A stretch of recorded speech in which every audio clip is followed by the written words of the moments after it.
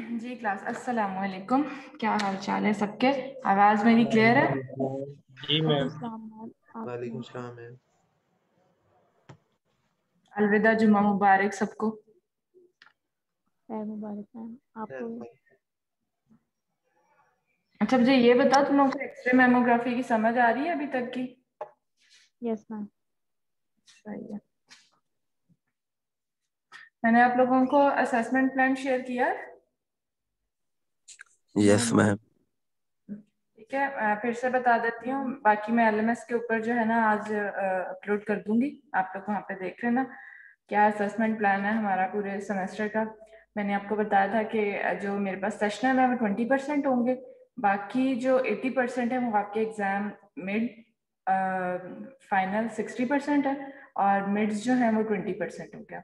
ठीक है तो ये एट्टी परसेंट आपके एग्ज़ाम है, बाकी ट्वेंटी परसेंट सेशनल और उन ट्वेंटी परसेंट में मैंने टेन परसेंट क्विज रखा हुआ है, वो एलएमएस पे मैं एम लूँगी आपके, ठीक हो गया? और जो टेन परसेंट है उसमें फाइव परसेंट आपके असाइनमेंट और फाइव परसेंट आपकी क्लास पार्टिसिपेशन और क्लास पार्टिसिपेशन मैंने आपको बताया था कि आफ्टर ईद हम स्टार्ट करेंगे और जो भी अभी तक के लेक्चर्स हैं प्रीवियस उनमें से कोई भी एक या दो क्वेश्चन जो है ना बेसिक क्वेश्चन सिर्फ़ जो कि ये नहीं कि आपको बहुत पढ़ना पड़ेगा उसके लिए।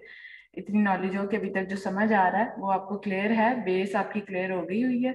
वो चीज़ें मैं पूछूँगी, ठीक है? किसी का भी रैंडम नेम अनाउंस करके उससे क्वेश्चन पूछ के और वहीं पे साथ ही मैं मार्क्स लगा दूँगी। ठीक है? क्लास पार्टिसिपेशन हो जाएगी। पहले मेरा था कि ईद की छुट्टियों में आपको असाइनमेंट दे दो, लेकिन काफ़ी बच्चों ने एतराज़ किया था कि नहीं, ईद की छुट्टियों में ना दें। तो ईद के बाद इंशाल्लाह फिर आपको एक असाइनमेंट भी दूँगी वो आप लोगों ने मुझे गूगल ड्राइव पे जो है सेंड कर देनी है सबने। ठीक है? और फिर उसके बाद रह गया हमारा क्विज क्विज इंशाल्लाह जब भी डेट अनाउंस होगी क्विज की, मैं क्विज ले लूँगी एल के ऊपर ही। और फिर मिड और फिर उसके बाद फाइनल फाइनल हमारा जो है वो सिक्सटी परसेंट का है, जिसमें ट्वेंटी परसेंट आपका वाइवा होगा और फोर्टी परसेंट आपका रिटर्न एग्ज़ाम होगा। और वो return exam scenario based questions और लास्ट सेमेस्टर में आप लोगों ने शायद ये दिया और मैं लास्ट सेमेस्टर में नहीं, मैंने पढ़ाया था, मुझे आइडिया नहीं था इस चीज़ों का। तो ये सारा चेंज हुआ है। तो आप लोगों को शायद आइडिया होगा कि किस तरह आपने सिनेरियो बेस्ड क्वेश्चन परफॉर्म किए थे और वो सारे। पहले तो आपको ज़्यादातर एम क्वेश्चन मैं शायद बीच में कुछ लेबलिंग भी दूँ ठीक है, वो अब मैं मिड में देती हूँ या, क्योंकि इमेजिंग वालों के साथ मैं ना इमेजेस बहुत ज़्यादा शेयर करती होती हूँ और इमेजेस पूछती भी बहुत हूँ कि इमेजेस इमेजिंग वालों की ना इमेजेस बहुत अच्छी होनी चाहिए। उनकी मैं बार बार कहती हूँ नेटमी अच्छी होगी तो उन्होंने इमेजेस यूँ फटाफट रीड करने हैं। उनके सामने एक्सरे लगा दो, उनके सामने कोई भी इमेज लगा दो। तो उनको रीड करना आना चाहिए। तो अभी तक हम लोगों ने एक्सरेज में जो चेस्ट एक्सरे या बाकी कोई एक्सरे अगर हमने देखे हैं, उनकी रिपोर्टिंग वगैरह के किस तरह उनको रीड करते हैं, कौन से स्ट्रक्चर्स किस तरह के नज़र आते हैं, और पूछूँ तो आपको वो एनेटमी शर्टमी पता होनी चाहिए ओके इजी है सारा कुछ। तो वो मैं शायद क्विज क्विज में तो एमसीक्यूज रखूँगी। मिड में या फाइनल में मैं जो हूँ ना, कुछ पर है ना, इसका लेबलिंग का भी रखेंगे इमेजेस का। ठीक है, आपका ये असेसमेंट प्लान क्लियर है आपको? फिर उसके बाद, फिर है हमारे पास वर्क प्लान तो मैंने आपको साथ साथ चेट वो भी शेयर कर दूँगी, क्या हमारा वर्क प्लान है, कितने हमारे लेक्चर्स होंगे टोटल और ठीक है, उसके अलावा हमारे पास और क्या रह गया मैम लेक्चर फोर के रिकॉर्डिंग शेयर कर दें हाँ मुझे भूल गया था। एक्चुअली मैंने बताया था कि आप लोगों को ईमेल सेंड नहीं हो रही थी। मुझे मैंने लिंक शेयर करनी है। इंशाल्लाह आज मैं आपको ना एलएमएस के ऊपर वो भी सारे लेक्चर वन से लेके ना अब तक के सारे लेक्चर्स की वहाँ पे जूम जो अपना फोल्डर बना दूँगी लेक्चर्स की लिंक का। तो वो लेक्चर सारे लिंक्स वहाँ पे एलएमएस के ऊपर ही लिंक डाल दूँगी गूगल ड्राइव की ना। क्योंकि इधर वो ईमेल हो नहीं रहे थे उसमें पता नहीं आ ठीक है सारा कुछ एलएमएस पे ही आपको मिल जाएगा जो भी आपके जो भी चीज़ें होंगी। ठीक हो गया? अच्छा स्टार्ट करें आज का lecture yes ma'am ma'am last time जैसे हर दफ़ा पैटर्न चेंज होते हैं फाइनल में कि लास्ट टाइम जैसे अभी इस बार सिनेरियो था उसके लास्ट टाइम एमसीक्यूज थे तो इस बार पैटर्न चेंज होगा ये मुझे आपकी बात क्लियर समझ नहीं आई है क्या कह रही हो? मैम मैं ये कह रही हूँ कि जैसे हर बार जो है वो पैटर्न चेंज हो जाता है। अभी जैसे लास्ट टाइम सिनेरियो था उससे पहले ही मतलब जैसे वाइवा लिया था इन्होंने तो इस हम्म। बार भी चेंज होगा या नहीं? मैंने आपको बताया ना फाइनल का पूछ रही हूँ ना फाइनल सिक्सटी परसेंट है जिसके अंदर फोर्टी परसेंट आपका रिटर्न एग्ज़ाम होगा। और वो रिटर्न एग्ज़ाम में सिनेरियो बेस्ड क्वेश्चन ही होंगे। ज़्यादातर तो क्वेश्चन ही मतलब लिए जाएँगे इस तरह और जो बाकी ट्वेंटी परसेंट है वो वाइवा होगा। तो टोटल आपका सिक्सटी परसेंट है फाइनल ओके मैम ठीक है? उसमें से रिटर्न भी है वाइवा दोनों है।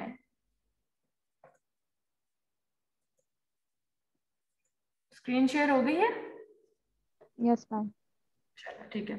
अच्छा अभी तक हम लोगों ने एक्सरेस पढ़ा था रेडिएशंस पढ़ी थी एक्सरेस की बेस हम लोगों को समझ आ गई थी एक्सरेस की इंटरप्रिटेशन हमने पढ़ ली थी एक्सरे की पोजीशनिंग पढ़ ली थी।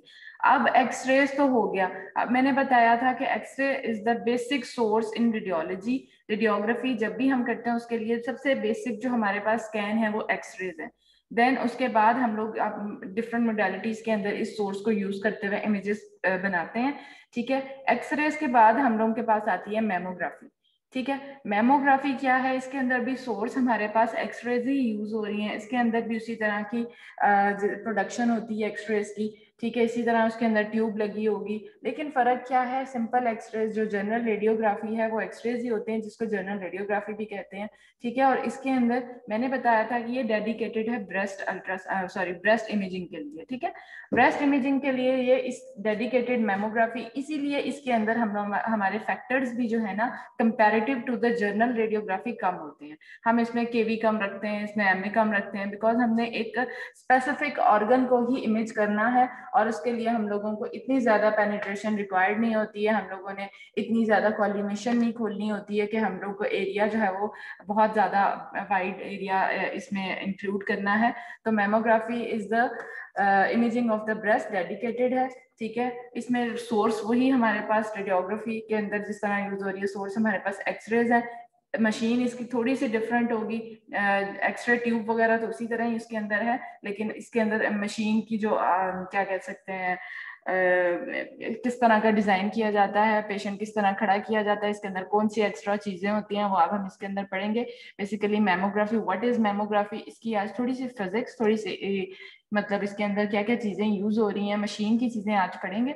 फिर इनशाला इसकी कुछ क्लिनिकल हम लोग मेमोग्राफी के पढ़ेंगे कि ब्रेस्ट कैंसर के अंदर बिनाइन लीजन्स मिलिग्नेंट लीजन्स कैसे मेमोग्राफिक पे नज़र आते हैं, ठीक है? और उसके बायरेट्स क्या होते हैं? ये सारी चीज़ें क्लिनिकली इंशाल्लाह हम लोग नेक्स्ट लेक्चर में पढ़ेंगे। आज हमारा सारा मशीन से रिलेटेड और जो उसकी किस तरह हमारे पास इमेज प्रोड्यूस किया जाता है वो हम पढ़ेंगे। ठीक है? What is mammography mammography is a radiographic modality to detect breast pathologies and cancer मैंने बताया रेडियोग्राफिक इमेजिंग है, इसके अंदर एक्सरे सोर्स है और डेडिकेटेड है फॉर द ब्रेस्ट इमेजिंग और इसके अंदर हम लोग ज़्यादातर जितनी भी ब्रेस्ट पैथोलॉजीज हैं, वो इसके ऊपर डिटेक्ट कर सकते हैं। Breast cancer accounts for 32% of the cancer incidence and 18% of the cancer death in women in US. ठीक है? ये इसका रेट है कि कैंसर किस तरह उसका इंसिडेंट इंसिडेंस रेट उसका इंक्रीज हो रहा है या फिर हमारी uh, अब तो बहुत ज़्यादा एशिया uh, के अंदर भी जो है पहले यूएस के अंदर बहुत ज़्यादा ये बढ़ रहा था लेकिन अब हमारे मतलब इस तरफ़ इस एरिया में भी बहुत ज़्यादा ब्रेस्ट कैंसर जो है बढ़ता जा रहा है। ठीक है? Approximately one in eight to nine women in US will develop breast cancer over her lifetime. Okay? A mammograph can find breast cancer when it is very small, two to three years before we can feel it. ठीक है? तो हम लोग उसके ऊपर देखेंगे कि कितना छोटा अगर अगर कोई लीजन है तो वो मेमोग्राफी के ऊपर डिटेक्ट हो सकता है या नहीं हो सकता। प्लस हम एज रिलेटेड भी आज पढ़ेंगे कि हमारे पास किस एज ग्रुप के लिए हम लोग मेमोग्राफी कर सकते हैं और किस एज ग्रुप के लिए हम लोग अल्ट्रासाउंड कर सकते हैं। ठीक हो गया। तो मेमोग्राफी कितना इफ़ेक्टिव है टू डिटेक्ट ब्रेस्ट कैंसर और अल्ट्रासाउंड कितना इफ़ेक्टिव है और किन हम लोग वो भी हम क्लिनिकल जब हम लोग इसकी मेमोग्राफी पढ़ेंगे तब इनशाला तब भी ये चीज़ डिस्कस करेंगे। ठीक हो गया। No screening tool is hundred percent effective ठीक है? कोई भी हम लोगों की मोडालिटी कोई इमेजिंग मोडालिटी जो है वो हंड्रेड परसेंट इफ़ेक्टिव नहीं होती है किसी भी किसी भी पैथोलॉजी को डायग्नोज uh, करने के लिए ठीक हो गया? Good quality mammograms can find 85 to 95 percent of the cancer हम लोग कभी भी किसी चीज़ को हंड्रेड परसेंट वो क्या कह सकते हैं रिपोर्ट ही नहीं कर सकते हैं और ना वो चीज़ जो मोडालिटी है वो हंड्रेड हंड्रेड परसेंट तो कुछ भी नहीं है इस दुनिया में ठीक हो गया?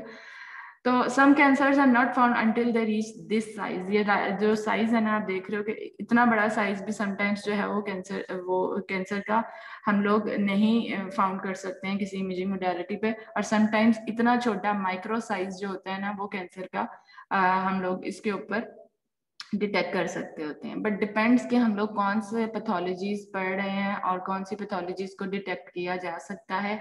स्मॉलेस्ट से स्मॉलेस्ट भी कभी हम लोग की जो है वो आ, हम लोग नहीं उसको आ, देख पा रहे होते हैं। और समटाइम्स जो बड़ी है उसको हम लोग ये नहीं कह पा रहे होते कि आया ये कैंसरस है या कोई नॉर्मल उसका कोई ऑर्गन उसका स्ट्रक्चर है। ठीक हो गया? हमारे पास जो इमेजिंग मोडालिटीज या कह लो इमेजिंग टेक्निक्स यूज़ होती हैं फॉर द ब्रेस्ट इमेजिंग वो हमारे पास नंबर वन पे तो आ गई एक्सरे जो कि जिसे कहलाते हैं मेमोग्राफी जो सिंपल हम ब्रेस्ट का एक्सरे या यूँ कह लो कि ब्रेस्ट के एक्सरेज को हम मेमोग्राफी कहते हैं। ठीक हो गया? तो स्क्रीन फ़िल्म जिसके अंदर स्क्रीन फ़िल्म जिसके स्क्रीन फ़िल्म उसको कहते हैं ना जिसके अंदर केसेट यूज़ हो रही है जिसके अंदर हमारे पास एक फ़िल्म यूज़ हो रही है उसके ऊपर इमेज क्रिएट हो रहा है देन इमेज जो है वो हमारे पास प्रोसेस के प्रोसेसिंग के थ्रू जो है वो डिजिटल अगर कर, अब तो एनालॉग तो खत्म हो गया जो हमारे पास पहले यूज़ होता होता था मैनुअली डिवेलप किया जाता था और मैंने आपको बताया था जिस तरह पहले हम लोग के पिक्चर्स भी होती थी उनको डेवलप करवाया जाता था सेम लाइक दैट हम लोग की जो एक्सरेज थी उनको भी उसी तरह केमिकल्स के थ्रू उनको डेवलपिंग प्रोसेस के थ्रू जो है गुजारते होते थे और फिर हम लोग के पास इमेज जो है वो फ़िल्म के ऊपर आता होता था। लेकिन आजकल जो है वो खत्म हो गया है, वो चीज़, हर चीज़ डिजिटल है तो उसमें क्या होता है कि हमारे पास जो इमेज है वो डिजिटली कन्वर्ट होता है और हमारे पास स्क्रीन के ऊपर डिस्प्ले हो जाता है तो वो सारा प्रोसेस जो है ना स्क्रीन फ़िल्म एक्सरे या स्क्रीन फ़िल्म मेमोग्राफी जो है उसको कहते हैं। ठीक हो गया?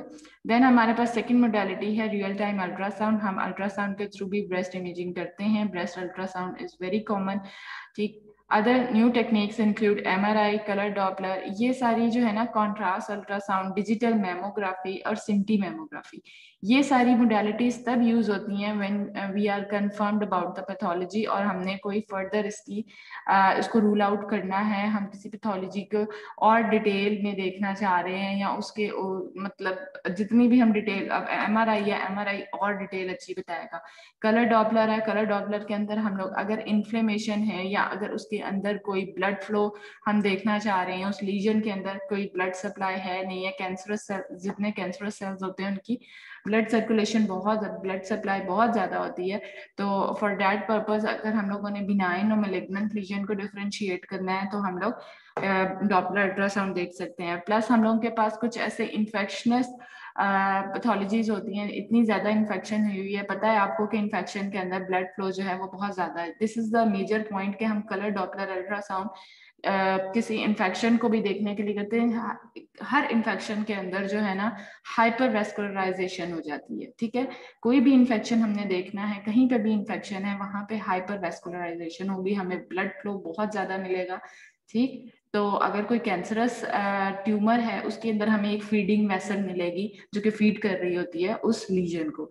ठीक है? तो colour Doppler is that important फिर हमारे पास कॉन्ट्रास्ट अल्ट्रासाउंड है उसको भी हम लोग कई कई जगहों पे यूज़ करते हैं। डिजिटल मेमोग्राफी है, नया आ गया है मेमोग्राफी के अंदर ही, जिस तरह मैंने पहले बताया था कि एनालॉग था भी सारा डिजिटल कन्वर्जन है इमेज प्रोसेसिंग की। सेंटी मेमोग्राफी के अंदर क्या होता है कि अगर कोई लीजन हमारा, अगर आपको कंफर्म्ड है कि दैट इज़ अ लीजन तो जिस तरह हम लोग न्यूक्लियर मेडिसिन जो हमारी मोडालिटी है न्यूक्लियर मेडिसिन के अंदर एक आइसोटोप पेशेंट के अंदर इंजेक्ट करते हैं और वो आइसोटोप जो भी होता है रेडियो आइसोटोप वो पेशेंट के अंदर से रेडिएशन इमिट करना शुरू हो जाता है। पेशेंट खुद एक सोर्स बन जाता है, ठीक है? उस फिर रेडिएशन को हम डिटेक्ट करते हैं गैमा गैमा कैमरा के अंदर, ठीक है? वो न्यूक्लियर मेडिसिन जो हमारी मोडेलिटी इंशाल्लाह जब आप पढ़ोगे, उसके अंदर सारी डिटेल ये सब पढ़ोगे सिंटी मेमोग्राफी मग्गा स्कैन ये वो स्कैन वो सर मग्गा scan is for um, heart, ठीक है, scintimammography for the breast इसके अंदर क्या होता है, वो जो रेडियो आइसोटोप है,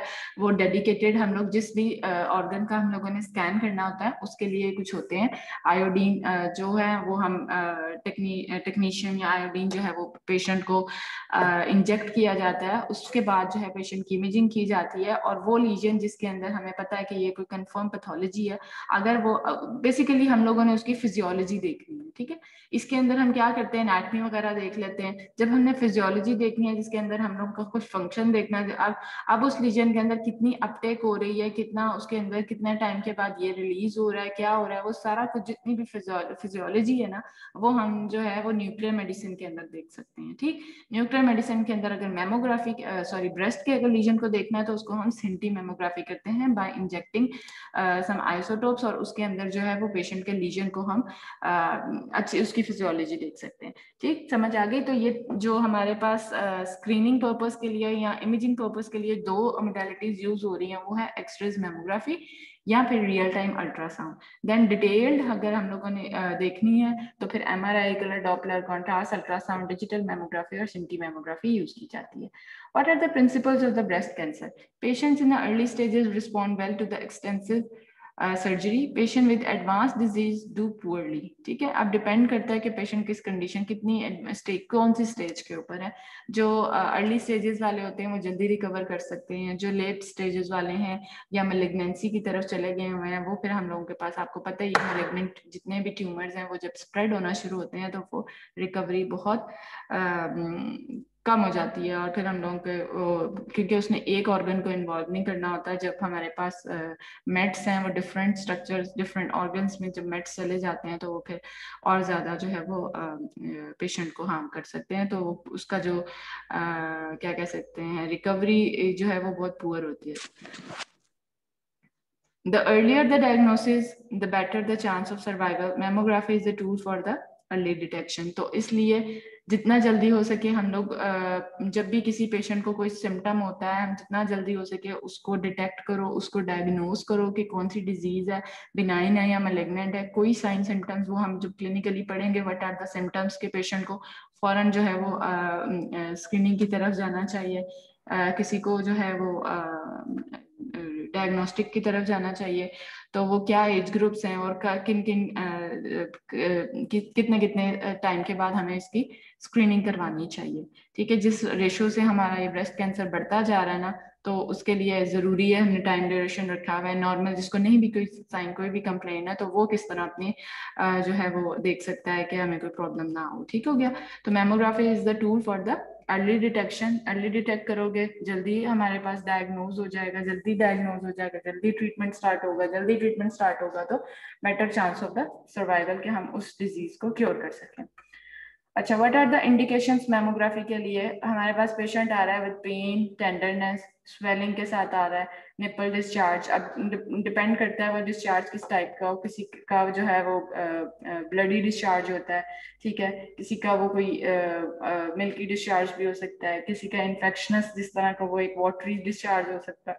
वो डिपेंड करता है कि वो किस तरह का डिस्चार्ज है but nipple discharge is the indication for the mammography ठीक है? वो फिर हम रूल आउट करेंगे कि उसके uh, क्या प्रॉब्लम है जिसकी वजह से इस तरह का डिस्चार्ज हो रहा है। देन कैल्सिफिकेशन है देन हमारे पास बिनाइन और मेलेग्नेंट ट्यूमर है ठीक है? फिर लिम्फ नोड एनलार्जमेंट है। ठीक है? समटाइम्स पेशेंट इस तरह की कंप्लेन के साथ आता है कि उसको ब्रेस्ट में तो कोई प्रॉब्लम नहीं है, लेकिन जो उसके लिम्फ नोड्स हैं, जो उसकी आर्मपेट के अंदर जो हमारे लिम्फ नोड्स हैं एक्सिलर एक्सिलरी एरिया के अंदर लिम्फ नोड्स हैं, वहाँ पे वो उसको स्वेलिंग फील होती है, उसको वहाँ पे गिल्टियाँ सी फील होती हैं, लेकिन ब्रेस्ट के अंदर कोई ऐसा प्रॉब्लम नहीं है तो वो सिर्फ़ लिम्फ नोड्स लार्ज हुए होते हैं तो उनको भी रूल आउट जब भी हमने breast ultrasound sorry breast X rays करना है हम लोगों ने साथ में ब्रेस्ट की इमेजिंग के साथ साथ हमने एक्सिला को भी देखना है। ठीक हो गया?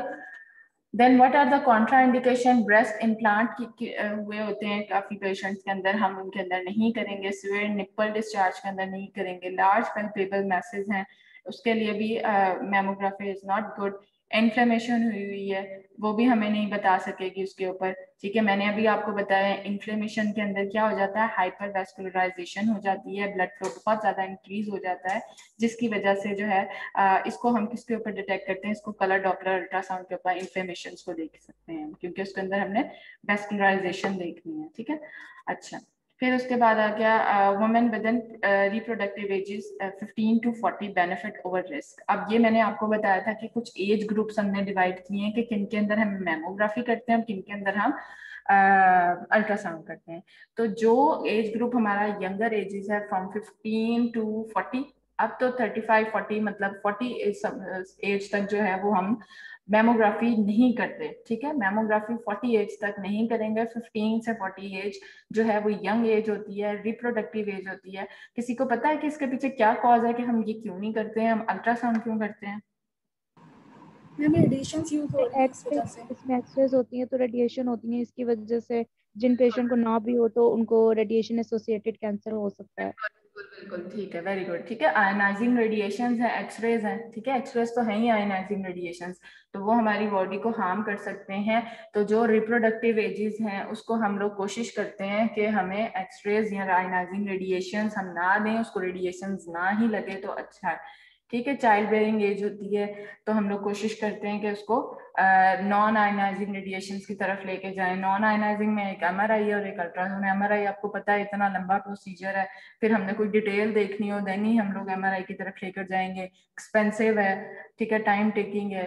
तो हम फिर उसके आ, उसके बराबर क्या हमारे पास अच्छा स्कैनिंग है हमारे पास अल्ट्रासाउंड है तो हम लोग इस एज ग्रुप के लिए अल्ट्रासाउंड किया जाता है। एंड अबव फोर्टी मेमोग्राफी ठीक हो गया? अच्छा हमारे पास बायोरेड्स हैं कुछ बायोरेड्स क्या होते हैं? जिस तरह हम लोग कोई भी डिज़ीज़ को कैटेगराइज करते हैं, उनको हम लोग, उनकी ग्रेडिंग करते हैं कि फ्रॉम ज़ीरो टू सिक्स इसी तरह हमारे पास जो भी लीजन्स हैं ब्रेस्ट के, ठीक है? वो जो है, उनको हम कैटेगराइज करते हैं from category zero to six उनको हम बायोरेड्स कहते हैं। ठीक हो गया? बायोरेट की एब्रीवेशन क्या होगी? Breast imaging and radiography and diagnostic system इस तरह करके ये सारी इसकी वो है क्या कहते हैं breast imaging reporting and diagnostic system शायद हाँ यही है। ठीक हो गया? तो ये इसकी एब्रीवेशन हो गई तो हम लोग को जो हमारे पास ग्रेडिंग जो यूज़ हो रही है categories from zero to six ये बायरेड्स हैं। और हम लोग इस, जब भी रिपोर्ट करेंगे, हम बायरेड्स में ही रिपोर्ट करेंगे। मेमोग्राफी भी और अल्ट्रासाउंड भी। अब हम लोगों के पास कैटेगरी ज़ीरो क्या है? इनकम्प्लीट ये बार बार अभी तो मैं सिर्फ़ इसकी, सिर्फ़ आपको ये बता रही हूँ, होता क्या डिटेल हम लोग जब क्लिनिकल पढ़ेंगे ना, जब रिपोर्टिंग का देखेंगे और क्लिनिकल पढ़ेंगे तो मैं फिर दोबारा से आपको बायरेड्स एक्सप्लेन करूँगी। तो कैटेगरी ज़ीरो क्या है? इनकम्प्लीट होता है, उसमें कोई इन्वेस्टिगेशन की ज़रूरत नहीं होती नॉर्मल है ये स्कैनिंग कैटेगरी वन नेगेटिव है, वो भी नॉर्मल है. कैटेगरी टू हमारे पास जो है वो बिनाइन फाइंडिंग है. ठीक है? कैटेगरी थ्री हमें लग रही है बिनाइन की तरफ़, ठीक है? बट हम कुछ कह नहीं सकते। प्रॉबली बिनाइन है। कैटेगरी फोर क्या है? सस्पिशियस अब नॉर्मेलिटी है वो। ठीक है? कैटेगरी फाइव है फाइव है। हाईली सस्पिशियस ऑफ़ मेलेग्नेंसी और six known biopsy with proven के बायोप्सी जो जब हो गई है कंफर्म बायोप्सी रिज़ल्ट जो है वो हमारे पास सिक्स के अंदर आता है। ठीक है? तो जब हम स्कैनिंग करेंगे तो हम लोगों ने हमेशा उसको बायरेड के अंदर ही रिपोर्ट करना है कैटेगराइज करना है। जब हमने लीजन देख लिया, हमें बिनाइन बिल्कुल कंफर्म है कि दिस इज़ बिनाइन तो हम उसको लिख देंगे this is a category two ठीक है? फाइब्रोइडिनोमास जितने भी हैं, वो हमारे पास बिनाइन होते हैं। फाइब्रोइडिनोमास जो हैं, वो कैटेगरी टू में आते हैं। हम उसको रिपोर्ट करेंगे बायरेड टू ठीक हो गया, फिर देन हमारे पास वो लग बिनाइन रहा है, हम उसको कंफर्म कह नहीं सकते, कभी हमें वो ज़्यादा बिनाइन लग रहा है तो वो हम लोग उसको कैटेगरी थ्री रिपोर्ट करेंगे। देन इसी तरह सस्पिशियस नॉर्मेलिटी है देन हाईली सस्पिशियस मलिग्नेंसी है एंड देन बायोप्सी प्रोन जो भी मलिग्नेंसीज हैं, वो category six these are the BIRADS कोरेट्स पता है किसी को?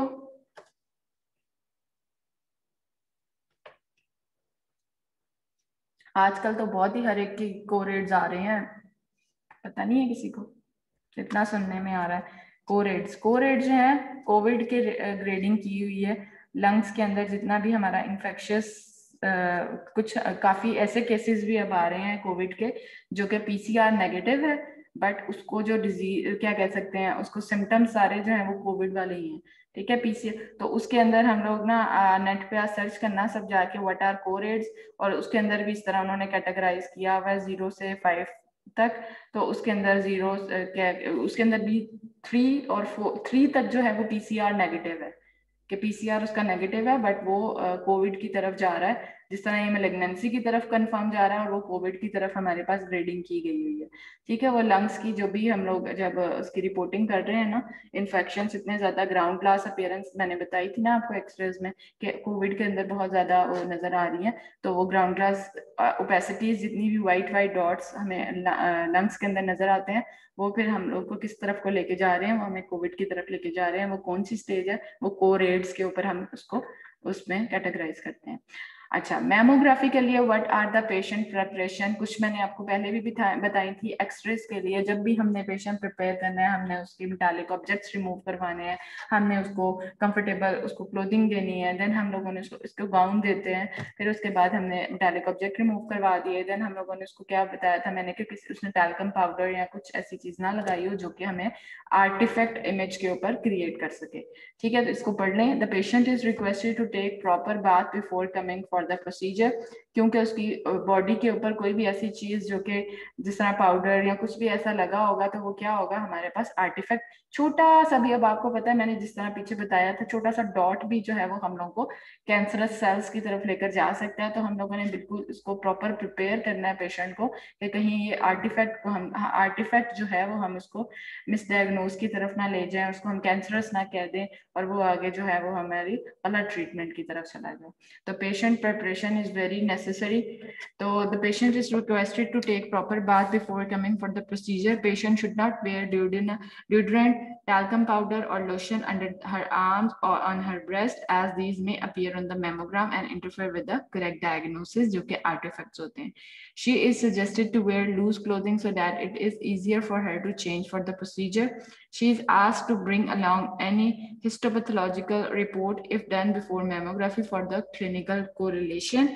A clean green hospital gown should be provided to the patient before the procedure. Patient privacy should be maintained and conducive environment should be created अब आपको पता है कि mammography जो है वो फीमेल ही ज़्यादा करती हैं और इसीलिए मैं कहती हूँ कि अगर किसी का इंटरेस्ट मेमोग्राफी की तरफ़ है ना तो वो गल्फ़ की तरफ़ निकल जाए और वहाँ पे आपको इतनी वैकेंसीज मिलेंगी गल्फ़ के अंदर तो अल्ट्रासाउंड भी फीमेल्स ज़्यादा कर रही हैं ठीक है? और उनकी सीट्स बहुत ज़्यादा हैं। आप वहाँ पे गल्फ़ की तरफ़ निकलो यहाँ पे आ, और आपकी बेतहाशा जॉब्स हैं। ठीक है? वहाँ गर्ल्स में तो ज़्यादातर करवाते ही फीमेल से ही है अल्ट्रासाउंड भी और ऑब्वियसली मेमोग्राफी तो करती ही फीमेल्स है। तो उसमें कोशिश करो कि जो है ना फीमेल्स जो है वो इस फ़ील्ड के अंदर अपने आप को ज़्यादा आगे की तरफ़ लेकर ठीक हो गया? अच्छा डेवलपमेंट ऑफ़ मेमोग्राफी ये कुछ हिस्ट्रीज uh, बताई हैं कि कैसे कैसे जो है वो मेमोग्राफी डेवलप एक्सरेज अपियरेंस किस तरह फ़र्स्ट रिपोर्ट की गई थी देन उसके बाद क्या उसके अंदर चेंजेस uh, आई uh, उसके अंदर क्या uh, क्या कह सकते हैं मॉडिफिकेशन हुई ठीक है? In 1913 radiographic appearance of breast cancer cancer was first reported 1913 में.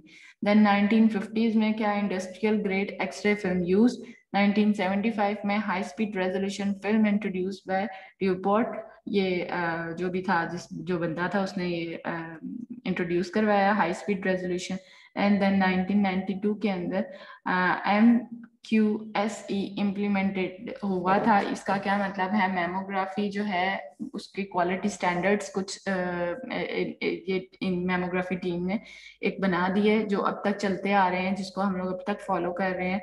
M Q S C mammography quality standard acts हैं। ठीक है?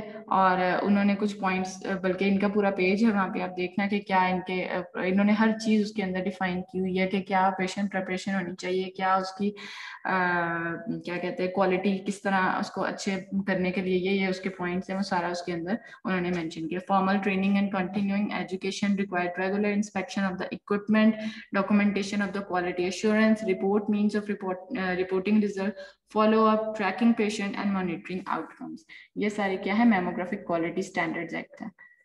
देन हमारे पास ब्रेस्ट कैंसर स्क्रीनिंग अच्छा जब भी हम लोग इमेजिंग करते हैं ब्रेस्ट की तो हम उसको दो टाइप्स में डिवाइड करते हैं। Number one is the diagnostic mammography and the other one is the screening mammography अच्छा डायग्नोस्टिक मेमोग्राफी वो होती है जिसके अंदर कंफर्म हमारे पास जो है कोई लीजन था जिसको हमने डायग्नोस कर लिया है और देन हम लोग उसको फर्दर उसको क्या कह सकते हैं रूल आउट कर रहे हैं, उसकी फर्दर इमेजिंग कर रहे हैं, ये स्क्रीनिंग वो है जो कि हम ए सिम्टोमेटिक पेशेंट्स में करते हैं। वो तो सिम्टोमेटिक पेशेंट है, हमें कंफर्म है कि उसके अंदर लीजन है पेशेंट इन कंप्लेन्स के साथ आ रहा है।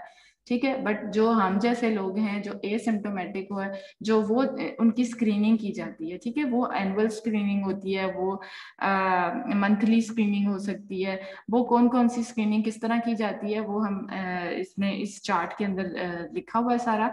तो American cancer society and American college of radiology suggest that all women over 50 years should undergo annual mammography अब कोई ऐसी 50 से प्लस जितनी भी वुमेन है उनको तो एनुअल अपनी स्क्रीनिंग करवानी चाहिए बिकॉज़ एंड अगर उनको कोई सिम्टम नहीं है लेकिन फिर भी उनको एनुअल स्क्रीनिंग करवानी चाहिए अब 50 जो है women between 40 to 49 should have one done every alternate year a baseline mammogram should be done at the onset uh, onset of menopause अब क्या है इसके अंदर हम लोगों ने एग्जामिनेशन देखो तो सेल्फ एग्जामिनेशन में कुछ ये आप नेट पे देखना कि किस तरह हम अपनी सेल्फ एग्जामिनेशन भी कर सकते हैं। हाँ, आ, क्या स्टेप्स होते हैं ठीक है उसके अंदर आ, आ, किस तरह हम लोगों ने अपने आ, क्या कह सकते हैं आम पेट और एक्सिला रीजन को भी देखना होता है कोई लम फील हो रहा है तो हम लोगों ने उसको फॉरन रिपोर्ट फॉरन जाना है स्क्रीनिंग के लिए वो तो सिम्टोमेटिक चीज़ें आ जाती हैं वो तो कन्फर्म जाना जा, जा, जाना है हम लोगों ने स्क्रीनिंग के लिए स्कैनिंग के लिए तो अगर हम लोग को कोई लम फील हो रहा है अगर वो जितनी भी इंडिकेशन है हमने मेमोग्राफी के अंदर पढ़ी है कुछ स्वेलिंग फील हो रही है कोई डिस्चार्ज फील हो रहा है कुछ भी डिप्रेशन फील हो रहा है कुछ भी हमें इस तरह का फील हो रहा है तो फॉरन से वो तो सिम्टोमेटिक हमारे पास इंडिकेशन आ, आ जाती है। जो ए सिम्टोमेटिक है वो तो हम लोगों ने ईयरली या एनुअली जो है वो आ, उसके अंदर हम लोगों ने उसको कैटेगराइज किया हुआ है कौन से जो है हाई रिस्क पे हैं कौन से हमारे पास लो रिस्क पे हैं। अच्छा self examination less than 40 years के अंदर जो है वो मंथली की जाती है 40 टू 49 के अंदर भी मंथली और अब 50 भी मंथली मंथली आप अपनी सेल्फ एग्जामिनेशन करो आफ्टर जो है पीरियड्स के बाद जब भी हम लोग ये अपनी स्कैनिंग करें तो इसके लिए ज़रूरी है कि हम मंथली जो है इसको अपना सेल्फ एग्जामिनेशन करें. उसका जो टाइम है वो आप देखना नेट पे. कितने कितने डेज़ मतलब कब हम अपनी एग्जामिनेशन हर मंथ कर सकते हैं। फ़िज़िकल एग्जामिनेशन जो है फिजिशियन सॉरी फिजिशियन जो एग्जामिनेशन हैं, जो एनुअली की जाती हैं, वो हम लोगों के लेस देन फोर्टी फोर्टी या प्लस फोर्टी वो भी, वो एनुअल है। ठीक? फिर एक्सरेज आ गए। ये तो हमारे पास एग्जामिनेशन है सेल्फ या फिजिशियंस के पास जाके हम लोग अपनी फ़िज़िकल एग्जामिनेशन करवा सकते हैं। ठीक है? देन हमारे पास है इमेजिंग कि हम लोगों ने इमेजिंग किन किन की करनी है? एक होते हैं हाई रिस्क पे जो है, वो कौन है और लो रिस्क वाले कौन है? जो हाई रिस्क वाले हैं ना, वो तो उनकी तो क्या कहते हैं ना एनुअली स्क्रीनिंग होनी ही होनी है, जो कि हमें पता है कि 50 प्लस वाले हैं या 40 से 49 वाले हैं। लो रिस्क वाले जो है ना जिन जिनका कोई रिस्क नहीं है फॉर एग्ज़ाम्पल कि उनकी कोई पेशेंट फैमिली में कोई हिस्ट्री नहीं है, उनका कुछ इस तरह का प्रॉब्लम नहीं है, वो लो रिस्क वाले हैं। हाई रिस्क वाले जो है ना, वो तो अपनी स्क्रीनिंग जो है, वो करवाएँ ज़रूरी। हाई रिस्क वाले सॉरी रिस्क फैक्टर्स क्या हैं? ब्रेस्ट कैंसर के एक आ गया हमारे पास age incidence increases with ages जिस तरह जिस तरह एज इंक्रीज होती जाएगी ब्रेस्ट कैंसर होने के चांसेस बढ़ते जाएँगे.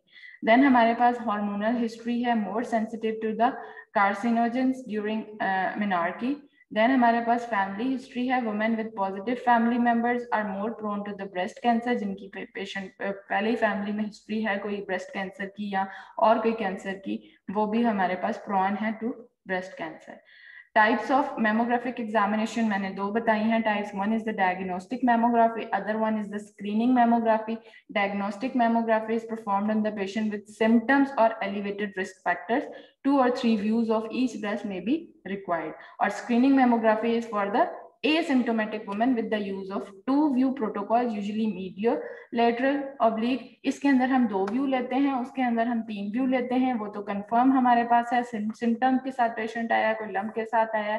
स्क्रीनिंग के लिए हम लोग जब भी आपको मैंने बताया था एक्सरे के अंदर हमेशा दो व्यू तो लेने लेने होते हैं। ठीक है तो ब्रेस्ट अल्ट्रा ब्रेस्ट मेमोग्राफी के अंदर हम लोग कौन सा व्यू करते हैं? मीडियो लेटरल ओब्लिक या क्रेनियो कॉर्डल ठीक हो गया? ये हमारे पास इक्विपमेंट है। इसके अंदर क्या है? डेडिकेटेड मेमोग्राफिक इक्विपमेंट है। स्पेशलाइज्ड एक्सरे ट्यूब यूज़ हो रही है। इसके अंदर ऑप्टिमाइज्ड स्क्रीन फ़िल्म डिटेक्टर्स हैं और ब्रेस्ट कंप्रेशन डिवाइसेस ये मेन हमारे पास जो है ना, चीज़ें हैं जिसके अंदर जो इस तरह की हमारे पास मशीन होती है। ठीक इसके अंदर एक्सरे ट्यूब ये लगी हुई है। ये जो है, ये क्या है? ये ब्लैक कलर का। इस तरह का हमने एक्सरे ट्यूब के अंदर पढ़ा था ना? ये रोटेटिंग एनोड है। इस तरह का ही था ना गोल सा ठीक है? रोटेटिंग एनोड था हमारे पास, ठीक है? यहाँ से एक्सरेज आ रहे हैं, वो इलेक्ट्रॉन्स आ रहे हैं बम्बार्ड हो रहे हैं उसके ऊपर, उससे फिर इंटरेक्शन होती है, किस तरह एक्सरे के प्रोड्यूस होते थे, ये हमने एक्सरे ट्यूब में पढ़े थे। ठीक? और क्या फिर एक्सरेज निकलेंगे? ये हमारे पास नीचे फिल्ट्रेशन है देन हमारे पास ट्यूब पोर्ट है और ये कॉलीमीटर लगा हुआ है। कॉलीमीटर हम लोग को पता है, आपको मैंने बताया था लाइट सी होती है उससे हम जितना ज़्यादा कम या ज़्यादा खोल सकते हैं। जितना खोलेंगे, उतनी ज़्यादा हमारे पास इमेज और उतनी ज़्यादा हमारे पास एक्सरेज निकलेंगे। हमें जितना रिक्वायर्ड कॉलीमीटर होगा, हम उतना ही इसको खोलेंगे। देन यहाँ पे हम लोगों के पास कुछ कंप्रेशन पैडल्स लगे हुए हैं कंप्रेशन डिवाइसेस लगी हुई हैं। वो उसका आगे यूज़ पड़ते हैं कि, ठीक है, यहाँ पे ब्रेस्ट को हम लोग इमेज करते हैं। देन नीचे हमारे पास क्या हो गया? यहाँ कुछ ग्रिड्स लगी हुई हैं। ग्रिड्स का क्या काम है? वो मैंने आपको बताया था कैसे हमारी स्कैटर्ड रेडिएशंस को जो है वो एब्जॉर्ब करते हैं। स्क्रीन फ़िल्म जो है, यहाँ पे हमारे पास फ़िल्म लगी हुई है और नीचे हमारे पास फ़ोटो टाइमर डिटेक्टर लगा हुआ है। ठीक है? इसके ऊपर जब यहाँ पे हम ब्रेस्ट ठीक है? एक्सरेज आए इमेज हुआ डिटेक्टर पे डिटेक्ट हुआ और देन हमारे पास डिजिटली हमारे मॉनिटर के ऊपर इमेज जो है वो डिस्प्ले हो जाएगा। हाउ एक्सरेज आर प्रोड्यूस हम पहले भी पढ़ चुके हैं लेकिन रीड करते हैं दोबारा से for revision x rays are produced due to sudden deceleration of the fast moving electrons when they collide or interact with the target anode In this process, 99% of the electron energy is converting into heat and 1% of the energy is converted into X-rays. ये हम पढ़ चुके हैं पहले ठीक है और हमारे पास दो टाइप्स की एक्सरे प्रोडक्शन होती है एक ब्रेमस्ट्रॉलिंग एक्सरे एक करेक्टरिस्टिक एक्सरे ब्रेमस्ट्रॉलिंग एक्सरेज क्या थे that results from the interaction between a projectile electron and target nucleus ठीक है the electron is slowed and its direction is changed due to the nuclear field जो हमारे पास थी, उधर आया और यहाँ पे न्यूक्लियस के अराउंड जो हमारी फ़ील्ड है, उसकी वजह से जो इलेक्ट्रॉन है, वो अपनी एनर्जी को रिलीज़ करेगा स्लो डाउन हो जाएगा और अपनी डायरेक्शन चेंज कर लेगा और उस उस एनर्जी रिलीज़ होने की वजह से जो हमारे पास energy in the form of x-rays release होते हैं they are known as bremsstrahlung x-rays और करेक्टरिस्टिक एक्सरेज क्या थे? Characteristic x-rays are produce after ionization of a K shell electron जो के शेल इलेक्ट्रॉन की आयनाइजेशन थी, वो वो रिमूव होता है आउटर शेल का इलेक्ट्रॉन वहाँ पे आता है, उसकी वजह से एनर्जी जो भी रिलीज़ होती है, वो हमारे पास in the form of characteristic x-rays हमारे पास प्रोड्यूस होंगे। When an outer shell electron fills the vacancy in the K shell and X-ray is emitted in mammography 17.5 या 19.5 uh, kilo electron volt characteristic X-ray is produced when molybdenum target and 23 keV is produced when rhodium targets are produced ठीक है ये targets हैं कुछ वो हम आगे पढ़ते हैं कि इसके अंदर target कौन कौन उसके अंदर target कौन सा था X-rays के अंदर general के अंदर target anode ma'am tungsten tungsten ठीक है? अब देख लो साथ साथ भूलते जा रहे हो, फिर ना चीखे मारना कि मेरी जो है ना वो क्लास पार्टिसिपेशन में मार्क्स नहीं आए। बेसिक चीज़ें हैं सारी। अच्छा in mammography low KVP is used मैंने अभी आपको बताया था जनरल रेडियोग्राफी और मेमोग्राफी के अंदर सिर्फ़ फ़र्क यही है कि मेमोग्राफी के अंदर हमारे पास लो के एक्सरेज लो केवीपीज यूज़ होते हैं। ठीक है, और जनरल के अंदर हम लोग के हाई केवीज यूज़ हो रही है। In mammography low kVp is use because it helps to minimize content scattering and maximize the photo electric effect in order to enhance the differential absorption by various tissues of the breast. अब different tissues हैं, soft tissues ही हैं सारे, हमें gray structures ज़्यादा चाहिए। ठीक है, अब हम लोग ने एक्सरेस के अंदर देखा था ओवर पेनिट्रेशन और अंडर पेनिट्रेशन का एक इमेज देखा था। अब हमें ज़्यादा अगर हम लोग इसके अंदर कर दें हमने एक छोटा ऑर्गन को ही इमेज करना है। उसके अंदर अगर हम केवीपी ज़्यादा रखेंगे तो हम डिफ्रेंशिएट नहीं कर पाएँगे डिफरेंट ग्रे स्ट्रक्चर्स को। ठीक है? इसके अंदर बहुत सारे ग्रे स्ट्रक्चर्स होते हैं सारे सॉफ्ट टिश्यूज हैं उसके लिए हम लोग केवीपी लो रखेंगे। ठीक? As glandular tissue of the breast is highly radio sensitive low kvp helps to reduce radiation dose to the breast. दूसरा हमारे पास केवी कम रखने का एडवांटेज uh, ये है एज अ ग्लैंडुलर टिश्यू ठीक है? रेडियो सेंसिटिव है, ब्रेस्ट जो है, और इसीलिए हम लोगों ने पेशेंट की रेडिएशन को कम से कम रखना है, उसको हमने कम से कम रेडिएशन देनी है डेट्स वाई केवीपी जो है हम लोग कम रखते हैं, ये दो पॉइंट हो गए। अच्छा इस टेबल के अंदर दोनों का डिफरेंट डिफ्रेंशिएट किया हुआ है, दोनों का, एक है जर्नल एक्सरे ट्यूब जो कि है हमारी जर्नल रेडियोग्राफी है, और दूसरा हमारी मेमोग्राफी है, दोनों के अंदर क्या डिफरेंट है? एक है जर्नल रेडियोग्राफी के अंदर both bremsstrahlung x-rays and characteristic x-rays are produce और मेमोग्राफी के अंदर only characteristic x-rays are produce five number का क्वेश्चन बन सकता है ना ये? फाइनल में. टेबल बनाओ चलो. What are the difference between general x-ray tube and mammography tube पाँच पॉइंट तो लिखने ज़रूरी हैं. सात है पाँच तो लिखो. ठीक है पाँच नंबर के लिए. अच्छा इसके अंदर सिर्फ़ करेक्टरिस्टिक एक्सरेज यूज़ हो रहे हैं. फिर हमारे पास इसकी 50 से 120 तक के वी यूज़ हो रहा है और उसके अंदर हम लो के यूज़ कर रहे हैं 20 से 35 के टारगेट इसके अंदर क्या था और फ़िल्टर क्या था? ये हमारे पास ये इन्होंने फिल्टर्स बताए हुए हैं और टारगेट बताया हुआ है टंगस्टन और उसके बाद जो हमारे फ़िल्टर है वो क्या, हमारे पास एल्यूमिनियम और कॉपर और इसके अंदर हमारे पास कौन से यूज़ हो रहे हैं? मोलिब्डियम और रोडियम फिर हमारे पास विंडो थी, वो ग्लास की थी। इसके अंदर जो है बेरिलियम और वेरी थिन बोरोसिलिकेट ग्लास जो है वो विंडो यूज़ हो रही है। एसआईडी क्या था?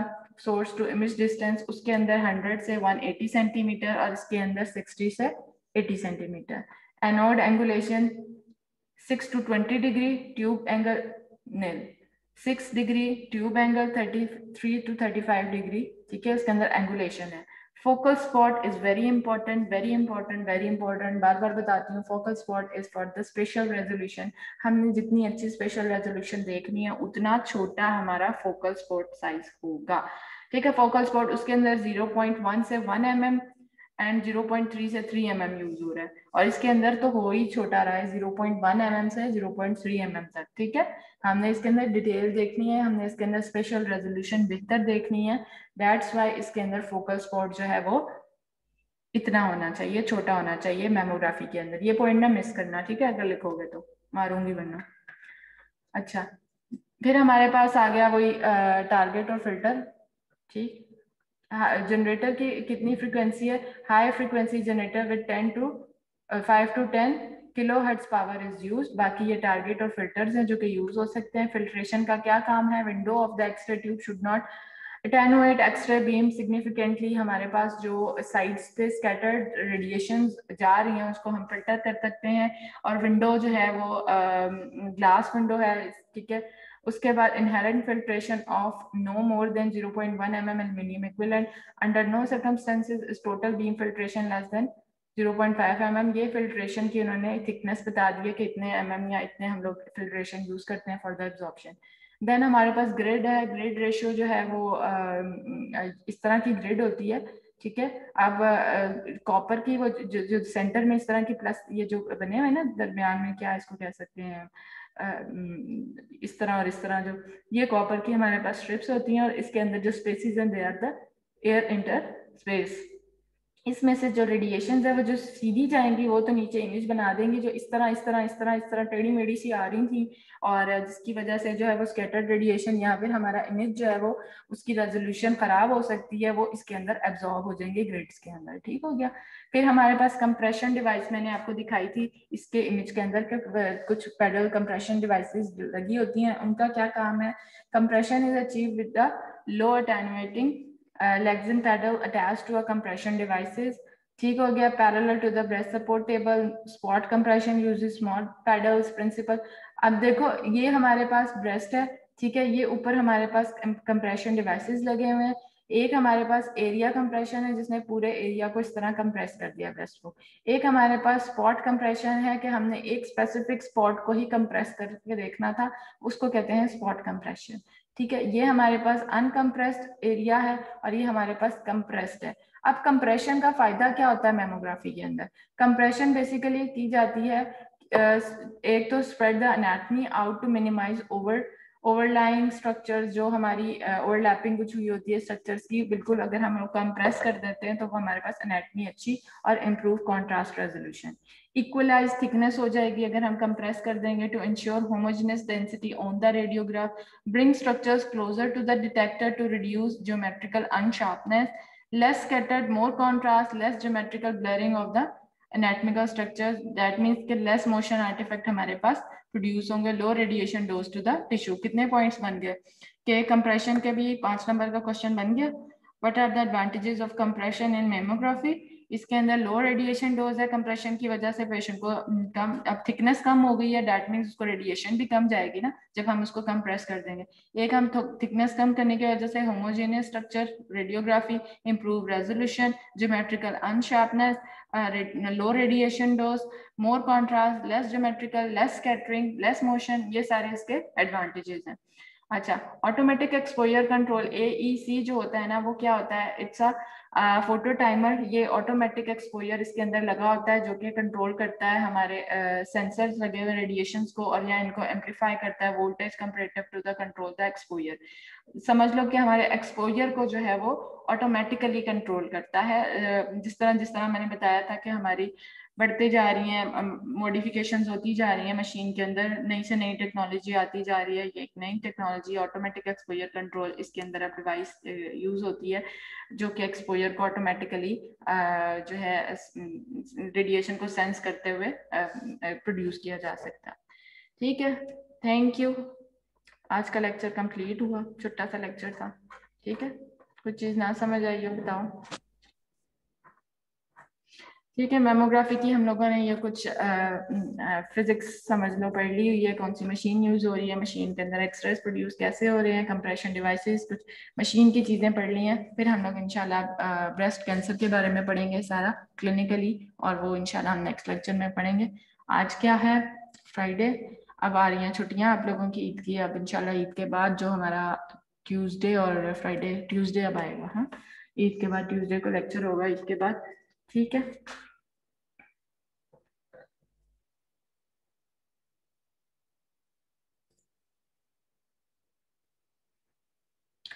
ठीक है, कोई क्वेश्चन कोई बात, कोई कुछ पूछना हो तो पूछ लो। नो मैम एग्ज़ाम से रिलेटेड कोई चीज़, वो इनशाला जब भी आपके एग्ज़ाम जब भी कोई भी असेसमेंट लेनी होगी, उससे पहले मैं आपको बता दूँगी कि अपने आप को प्रिपेयर रखो। लेकिन ये चीज़ है कि मैं साथ के साथ इंपॉर्टेंट चीज़ें बताती हूँ कि ये चीज़ मुझे इंपॉर्टेंट लगती है, मैं इसका क्वेश्चन बना सकती हूँ। ये इमेज को मैं बहुत अच्छे से अगर एक्सप्लेन कर रही हूँ तो वो इमेज जिन जिन चीज़ों को मैं खुद भी ऐसे रीड करके या स्लाइड निकाल देती हूँ दे आर नॉट इंपॉर्टेंट लेकिन उनको एक दफ़ा रीड ज़रूर कर लिया करो एग्ज़ाम पॉइंट ऑफ़ व्यू से वो फिर इस तरह मैं इतनी उस पर नहीं करती होती। जो मेजर बेसिक चीज़ें हैं, वो तो आप लोगों को क्लियर होनी चाहिए। ठीक है, जिसकी बेस क्लियर है, मेरे लिए वो, उसको बहुत अच्छा आता है, सब कुछ बहुत अच्छा आता है। लेकिन जिसने पूरा पढ़ के, जिसको बेस ही नहीं पता, जिससे मैं ये सिर्फ़ पूछ लूँ कि एक्सप्रेस प्रोड्यूस कैसे होते हैं, पूरा हमारा जो सब्जेक्ट है, वो इसी के ऊपर बेस करता है। तो वो जनाब, उसको यही नहीं पता एक्सरे प्रोडक्शन क्या है कि एक्सरे ट्यूब के अंदर क्या है, उसके किस तरह वो सारा फ़ंक्शन कैसे एक्सरेस प्रोड्यूस करेंगे। तो वो मेरे लिए ज़ीरो है, ठीक है? तो बेसिक चीज़ें जो है अपने मैम ये जो आज आपने मेमोग्राफी का लेक्चर पढ़ाया है मैम इसमें जो स्टैंडर्ड्स थे मेमोग्राफी के, वो हैं इम्पोर्टेंट हाँ।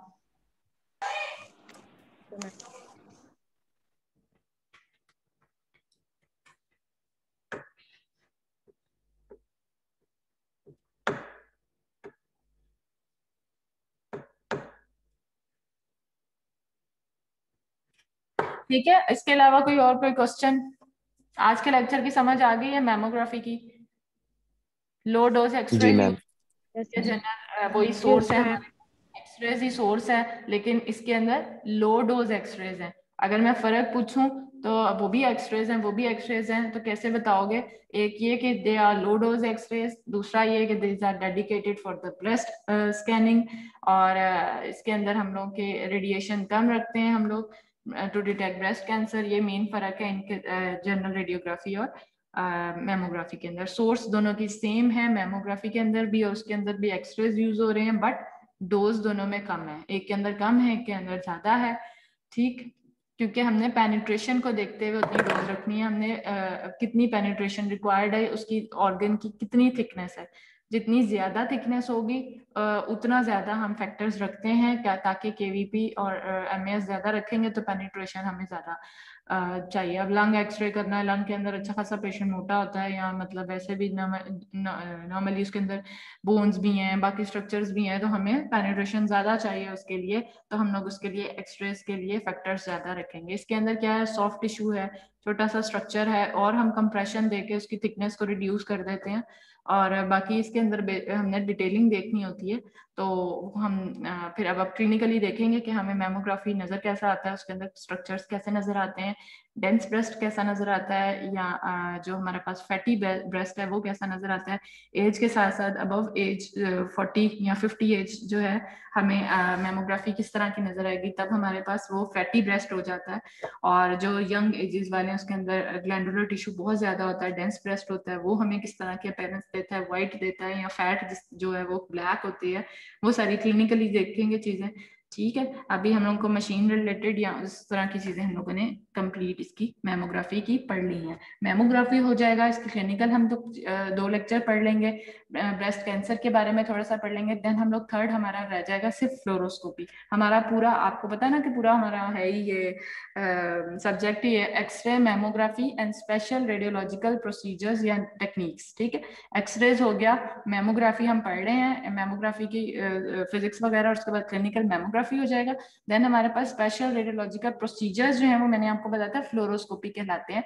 इसके बाद हम फ्लोरोस्कोपी पढ़ेंगे। फ्लोरोस्कोपी की पहले मशीन उसके अंदर सोर्स कैसे यूज़ हो रही है, उसके अंदर हम कैसे पेशेंट की इमेजिंग करते हैं, वो। और फिर क्लिनिकली जितने प्रोसीजर्स हैं वो ज़्यादा है, ज़्यादातर लेक्चर वो फिर एक एक प्रोसीजर का एक एक लेक्चर है कि हम लोग प्रोसीजर्स को कैसे परफॉर्म करते हैं, ठीक? वो हम लोग पढ़ेंगे उसके अंदर। स्पेशल रेडियोलॉजिकल प्रोसीजर्स ठीक है? वो आठ नौ जो हैं, वो सारे प्रोसीजर्स जो हैं, वो बाकी फिर यही रह जाएँगे। दो तीन ये मेमोग्राफी के और फ्लोरोस्कोपी के इतने ही और हमारा पूरा सब्जेक्ट कंप्लीट हो गया। ठीक है? इजी सा सब्जेक्ट है, सारी आप लोगों को बेसिक क्लियर हो जाएँगे। स्पेशल रेडियोलॉजिकल प्रोसीजर्स हैं वो थोड़े से लंबे हैं। कुछ मैं आपको असाइनमेंट दूँगी कि आप लोगों ने खुद सर्च करके जब कुछ पढ़ लिए हैं ना और उसके बाद जो है वो फिर हम लोग उसकी कुछ आप लोगों ने खुद सर्च करके आ, मुझे असाइनमेंट में बताने हैं कि हम लोग ये प्रोसीजर्स भी किस तरह परफॉर्म करते हैं। मेजर मेजर जो है वो सारे प्रोसीजर हम कवर करेंगे। गाइनी के प्रोसीजर्स यूरिनरी ट्रैक के जीआई ट्रैक के आ, ये सारे प्रोसीजर जो है ना वो हम लोग पढ़ेंगे इंशाल्लाह। ठीक है?